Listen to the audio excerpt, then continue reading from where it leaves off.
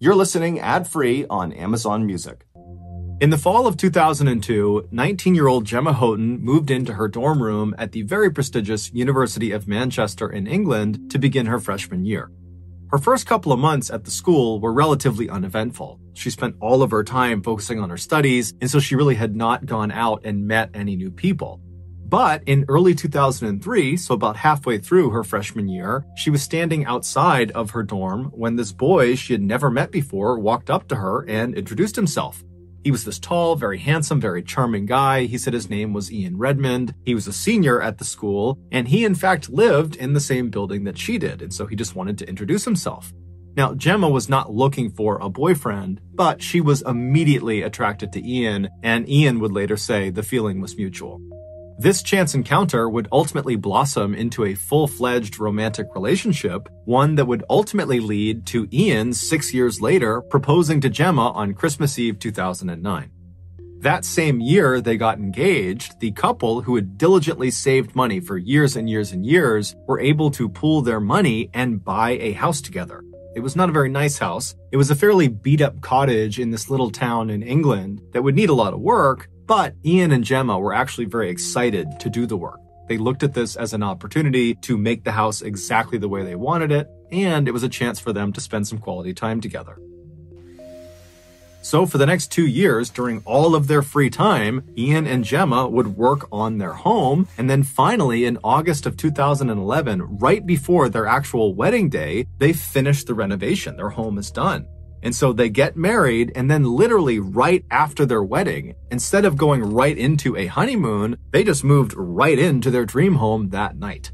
And so for the next couple of days, the newlyweds got to enjoy being husband and wife for the first time inside of their dream home. And then it was time to go on the honeymoon.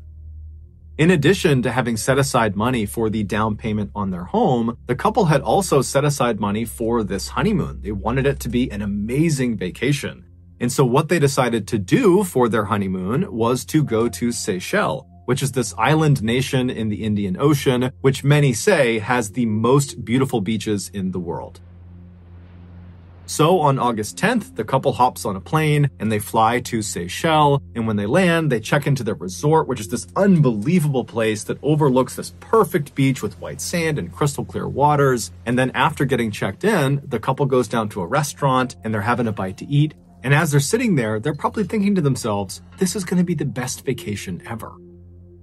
During the first week of their trip, the couple was very active, spending lots of time exploring the island and going out on different excursions and going to lots of restaurants. They were just all over the place. And so come Tuesday, August 16th, which was the start of their second week and final week of this honeymoon, the couple was kind of tired from all the activity. And so they decided they would just have a lazy day at the beach that day. And so the couple grabbed their swimsuits and their towels and their chairs, and they left the resort and headed down to the beach right outside. And then after finding a decent spot on the sand, they set up their chairs and towels, put their stuff down. And Gemma, she laid down on one of the chairs to begin sunbathing. And Ian, he grabbed his fins and his snorkel, and he kissed Gemma on the cheek and said he was going to go down to the water and go for a swim. Gemma remembers watching Ian as he walked across the beach and stopped in front of the water and put on his big fins and got his snorkel on, and then he kind of awkwardly duck walked his way into the water. And Gemma remembers just smiling and laughing to herself, watching him awkwardly do this, and then thinking to herself how lucky she was to be married to such an amazing guy. She really loved him so much. After Ian had finally gotten into the water and had begun his snorkeling journey, Gemma laid back and began to doze off to sleep. A little while later, though, Gemma suddenly woke up to the sound of what almost sounded like someone sneezing really, really loudly. And so instinctively, she sat up and scanned the waterline for her husband, but all she saw were other tourists in the water swimming and snorkeling and doing all sorts of stuff. She couldn't find Ian.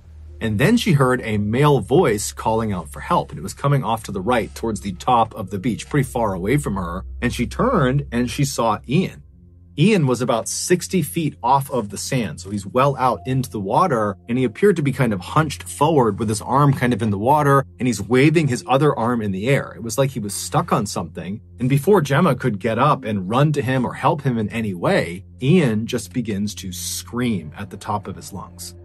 When Ian began screaming, there was a surgeon who was also on vacation at this beach who was in a boat near where Ian was. He hears the scream and he boats over to Ian, and he and the guy who was in the boat with him manage to pull Ian out of the water. They get him on the boat, and Ian is alive and he's conscious, but he is missing his entire left arm. He's missing the majority of his left thigh, and there was a huge chunk missing from his midsection. It would turn out Ian had been attacked by a bull shark, one of the most aggressive sharks in the world. That sneezing sound that Gemma had heard that had startled her awake was the sound Ian had made through his snorkel when the shark bit down on him. The surgeon rushed Ian to the shore and pulled him out and got him onto the sand and began trying to save his life. At the same time, Gemma had come running up the beach and she managed to push through the quickly forming crowd and she drops down next to her husband. And Ian at this point is alive and he's conscious. He's very badly hurt, but he's looking up and he's clearly making eye contact with Gemma. And Gemma, she's looking down at her husband and she's making clear eye contact with him. And they don't really say much. It was like this horrible moment where all they could do was just be in the moment together. And so during this kind of silent acknowledgement, Ian would ultimately pass away. It would turn out, over the past few weeks, there had been a rash of shark attacks at this beach, including one other fatal attack on another tourist. Because shark attacks in Seychelles were so unheard of, they believed this had to be the work of one rogue bull shark. That was the one shark that was doing all of these attacks. And so because this shark had not been captured or killed, the country had actually instituted a temporary ban on swimming at this beach and a few other beaches. But for whatever reason, the ban had not been communicated effectively to the tourists, nor had it been enforced on the tourists. And so Gemma and Ian had no idea the water was a dangerous place to be. They just looked out and saw other tourists swimming around and believed it was totally safe, when in reality, it obviously wasn't. Gemma would quickly return to England and she would host her husband's funeral in the same church she and he had been married in 10 days earlier.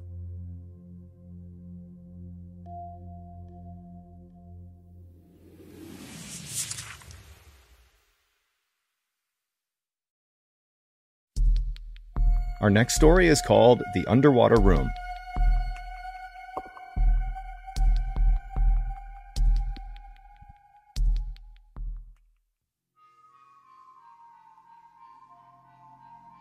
In 2017, Steven Weber was a larger than life 38 year old DJ living in Louisiana. That year, through a mutual friend, he met Kenesha Antoine, who was a 38 year old lawyer also living in Louisiana. And as soon as they met, they immediately hit it off and began dating. They both had always wanted to travel the world, but they never got around to it because life always seemed to get in the way.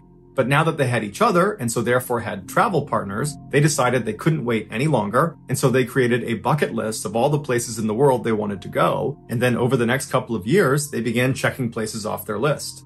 In 2019, when Kenesha was going to turn 40, they decided they needed to go somewhere really special to celebrate. And so they checked their bucket list to see where they hadn't gone yet, and they ultimately settled on going to East Africa because there was a resort there they had always wanted to stay in. It was called the Pemba Resort, and it was famous for their underwater room. They literally have a two story cabin floating 300 meters off the coast. Its main floor is at surface level. It's got a beautiful couch that looks out over the water, and you can take the stairs up to the roof of the main floor where there's another couch and you can stargaze and look out 360 degrees, and there's no other cabins out on the water. You're completely isolated. And then if you go back down to the main floor, there is a ladder that goes straight down 10 meters into the master bedroom, and it's completely underwater. All four walls have these huge windows that look out directly into the beautiful Indian Ocean. To stay in this cabin for one night costs $1,700, and so Steven and Kenesha decided they would only splurge on it for one night at the end of their Africa trip. So in September of that year, the couple flew out to Africa, and for over a week, they enjoyed sightseeing and going on safaris and eating nice food. And then at the end of their trip, it was time to head out to the underwater room. So they got to the Pemba Resort on the mainland, they checked in, and then they loaded into a boat and were brought out 300 meters to their actual cabin out on the water. And then after the boat left them there, Kenesha got out her phone and began filming. And she filmed as the two walked around and they looked at the amazing view. They went onto the roof and they're looking all around and they're laughing because it's so unbelievably beautiful. And then at some point, they make their way down that ladder down into the master bedroom underwater. And the two just can't stop laughing because it was so bizarre and just so incredible being down there. There were fish that were coming up to the glass and just staring at them. They just couldn't believe what they were seeing. And then at some point, Steven makes a joke that a shark was coming, and Kenesha turns around and then sarcastically laughs at him and says, okay, haha, yeah, a shark. And then she turns off the recording. A little while later, Steven leaves Kenesha in the master bedroom and he goes upstairs and he puts on fins and then hops in the water.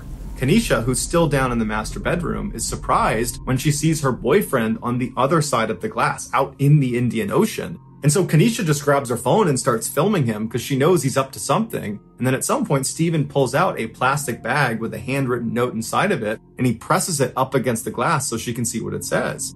And so Kenesha zooms in on the note, and you can tell from the tone in her voice, she really doesn't know what he's doing. But then there's a pause in the video as she's reading the note. And the note says, I can't hold my breath long enough to tell you everything I love about you, but everything I love about you, I love more and more every day. Will you please be my wife? Marry me. Kenesha is so astounded at this proposal. You can tell she's almost crying. She's so excited. And so as she just continues to film him, Steven pulls out a ring and he holds it up to the glass. And now at this point, Kenesha is just beside herself. She couldn't be happier. And so Steven closes the ring box, he grabs the letter, and he swims up out of view back to the surface. And Kenesha turns off the recording, turns around, runs to the ladder, and climbs up to the main floor to give Steven her answer that yes, she would marry him. But when she got up there, she looked around and Steven wasn't up there. And so she's yelling for him, she's looking around, waiting for him to show up, but he's not. And so she runs up onto the roof of the main structure to get a better look around to see where he went. But when she got up there, she looked down and there's nothing but ocean. There's no sign of Steven anywhere. And so starting to panic, she runs back down to the main floor at surface level. And now she's frantically yelling for Steven, yelling for him to come up to the surface. Where is he? Where are you? But there's no response. Kenesha is all alone out in this cabin in the middle of the ocean. She has no way to contact anyone on the mainland, and so she has no idea what to do. She doesn't know if she should just jump in the water to go looking for him. She doesn't know if he's maybe playing a joke on her. She just doesn't know what's happening. And so she just reflexively begins screaming out for help, hoping that somebody will hear her and come help her find Steven. And after a little while, some boaters not too far away hear her yelling out for help. They come over and they, along with Kenesha, begin looking and they ultimately find Steven. But by the time they found him, it was too late. He had drowned.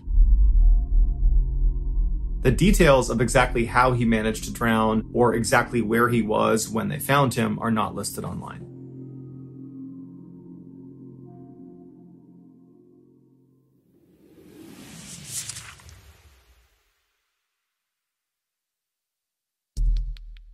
The next and final story of today's episode is called Embrace.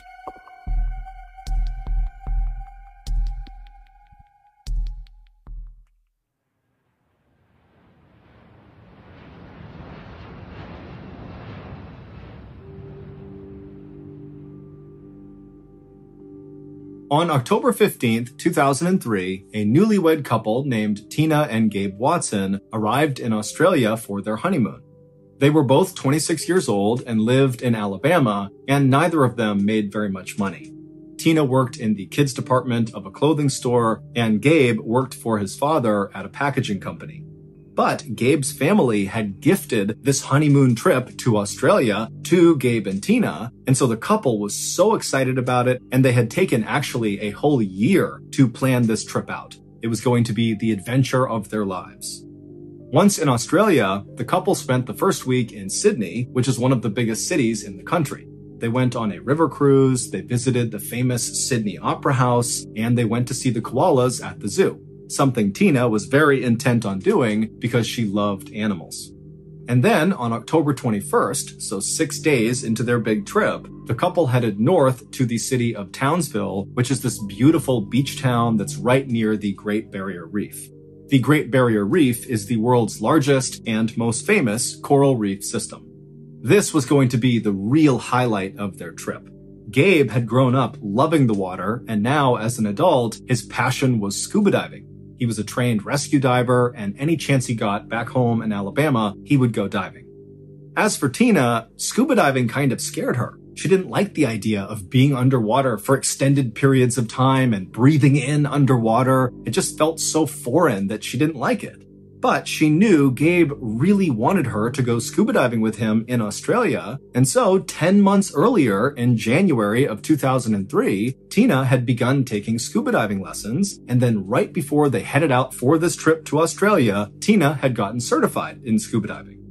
So, after arriving in Townsville, Gabe and Tina would spend the night in a hotel, and then early the next morning, the couple would get up and make their way down to the dock where they would board a diving boat. This boat was going to take them out into the open water, right over this famous shipwreck called the Yongala, where lots of people scuba dive. And this Yongala wreck is right near the Great Barrier Reef. So it's a truly amazing place to go scuba diving.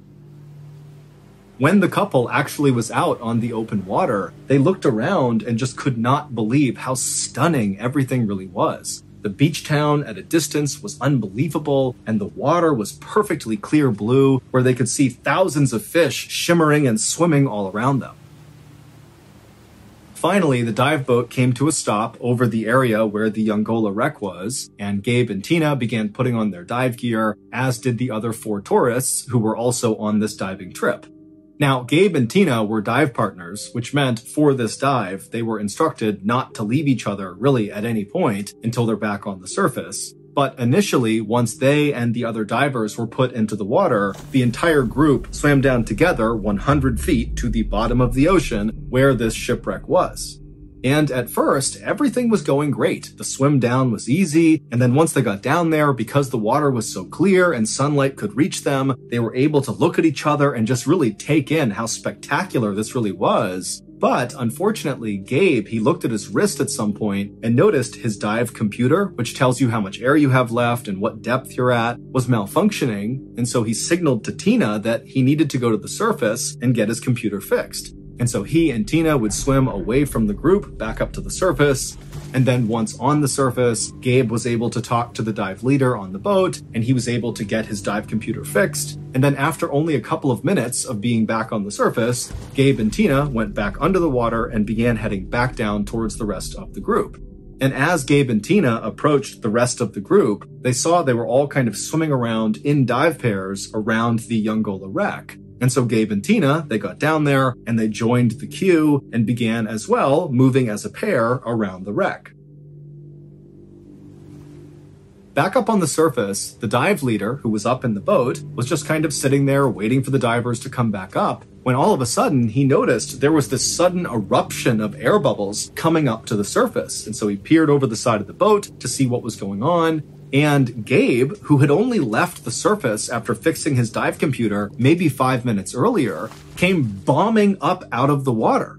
And when he did, the dive leader immediately noticed that Tina was not with him. And before the dive leader could even ask Gabe what was going on, Gabe, who was obviously very panicked, he ripped off his mask and he began trying to tell the dive leader that something was wrong with his wife, that she had sunk away from him and he couldn't get to her and he needed help. And so the dive leader immediately put on a scuba tank, he jumped in the water and swam down as fast as he could to the wreck down below. And when he got there, he immediately saw Tina by herself laying on the sand on the bottom of the ocean, just totally motionless on her back. And so the dive leader, he swam over to her, he scooped her up, and he brought her all the way back to the surface. And then once on the surface, he put Tina into the boat, and then the dive leader, he climbed inside and immediately began doing CPR on Tina. And for 45 minutes, the dive leader tried to do CPR, tried everything he could to save Tina, but unfortunately it was not enough and Tina passed away. An autopsy would later reveal that Tina had died from something called an air embolism, which is when an air bubble gets trapped in a blood vessel and blocks it. In scuba divers, this can happen from holding your breath for too long or trying to ascend too quickly. One theory about how this could have happened to Tina was based on what Gabe said happened when he and Tina went back down to the wreck after he got his dive computer fixed. He said they got down there, everything was fine, they were swimming around like the other dive pairs, taking pictures, when Tina started to panic, kind of randomly, and she reached out for Gabe, and Gabe said she knocked his oxygen mask off his face, and so Gabe was kind of starting to panic, and he got the mask back on, at which point Tina was kind of floating away from him, and so Gabe, not really knowing what to do, said he went to the surface to get help. And so in that time frame, perhaps Tina, you know, tried to rush to the surface on her own, giving herself the air embolism, or maybe in her panic, she had held her breath, giving herself the air embolism. But it wasn't long after Tina's death was ruled an accident and the case was closed that the other four people who were on that dive with Gabe and Tina began reaching out to Tina's family. These divers had seen something very strange happen right around the time Tina died, and they felt like they had to tell someone. One of these four divers would tell Tina's family that as they were swimming around the wreck, they saw Gabe and Tina come back down after Gabe had fixed his dive computer, and pretty quickly after they reached the bottom, Gabe seemed to give Tina a hug, like a really strong bear hug. Now, there's no reason any diver would hug another diver underwater, certainly not that hard, unless it was some sort of rescue attempt. And this diver who witnessed this told Tina's family that this did not look like a rescue attempt. It looked like Gabe was trying to restrain Tina, and Tina was trying to get away from Gabe. Take it to the beach on a short erection And boom, boom, the rhythm of the situation Boom, boom, in the confusion The whole place focused on her must be the heat, I'm hallucinating. Then smudging her lipstick. She seeks me as a destination. See from here how the sky looks. It feels like the Caribbean Sea. Boom, boom, boom, playa bonita. Boom, boom, fresh granita. Moving the speakers As if it weren't enough. Captured by your hands down I move, you move And the music pushes even more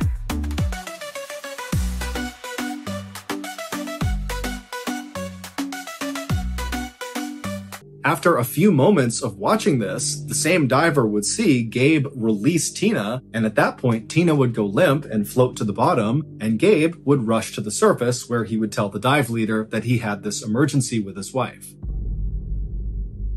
This new information led Australian authorities to charge Gabe with murder. They alleged that Gabe intentionally turned off Tina's air and then put her in that bear hug to make sure she couldn't turn it back on again.